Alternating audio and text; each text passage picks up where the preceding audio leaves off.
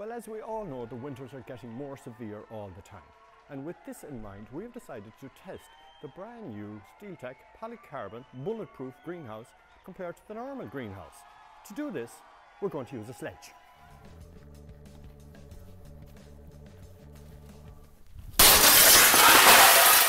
Oh dear. Now, we'll try the same thing with the Steeltech bulletproof polycarbon greenhouse. There you.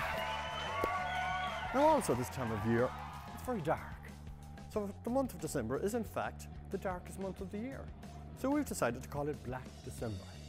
So for Black December, the full month of December, we're giving 50 euros off all Steeltech sheds, 100 euros off Steeltech garages, and 100 euros off all Steeltech greenhouses ordered during the month of December.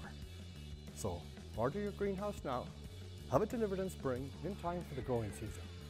And remember, what you grow in it is entirely up to yourself. But if you are growing anything illegal, Steeltech sheds cannot be held responsible. But do bring in some samples because we'd love to test.